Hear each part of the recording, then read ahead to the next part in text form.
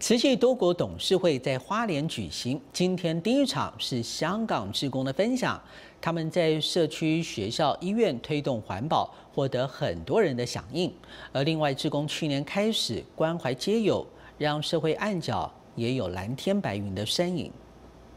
也发愿，我们要持续进行我们香港的慈诚队的这个街友的活动啊，也希望将来呢，我们爱心的会遍满遍满整个整个香港的地区啊，关怀每一个黑暗的角落。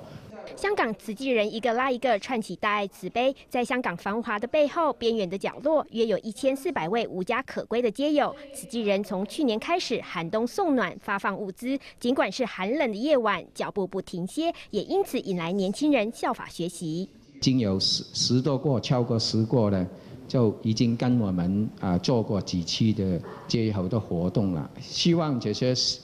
年轻新来的菩萨可以感受到我们奇迹啊对街友的关怀。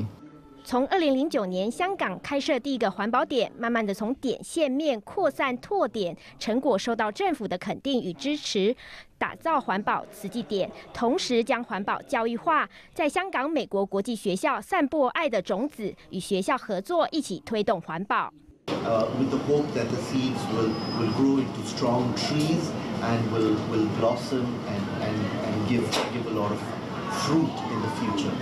法入心，法入行。香港慈济人将大爱理念散播到每个角落，希望可以带动更多的会众一起加入慈济的大家庭。